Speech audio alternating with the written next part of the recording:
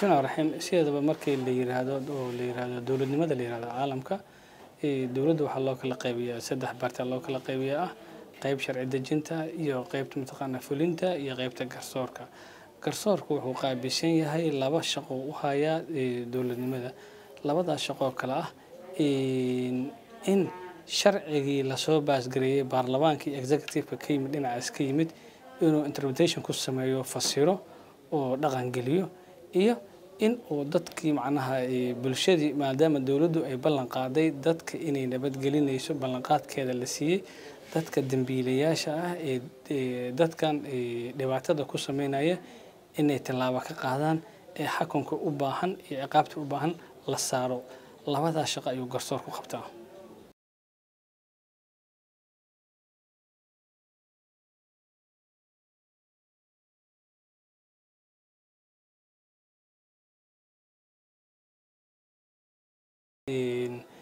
qofka bini-aadanka ah ee la soo eedeeyaa waa qodob dastuuriya oo dhahayo waa inuu helaa xuquuqda uu leeyahay.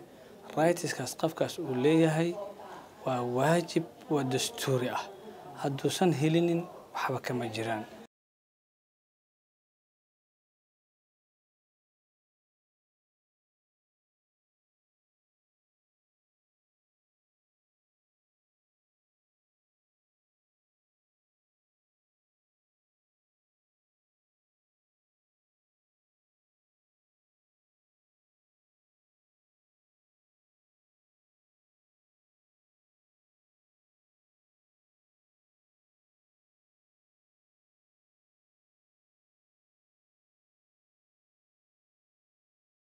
jiro oo ka hadlaya qofka marka loo sheego in loo sheego qofkan in la xirayo looguna sheego af uu fahmi karo lana wargeliyaa eheladiisa ah qofkan inuu yahay qof eedeysana ah faldembiyeed loo haysto waa xuquuq asaga uu leeyahay.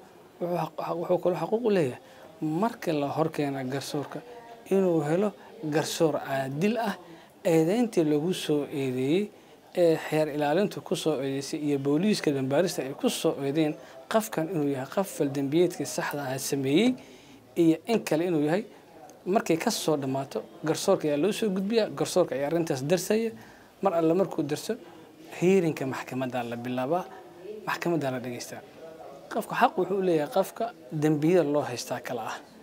Dembiye waxaa jirta dembiyada fudud qofka asaa access u leh xataa iska difaaci karo. Hadduusan hataa iska difaaci karin waa inuu qareen qabsado. Hadduusan qareen qabsanin maxkamaddaa qareen u qabanayso. Oo maxkamadda ayay tahay inay qareen u qabato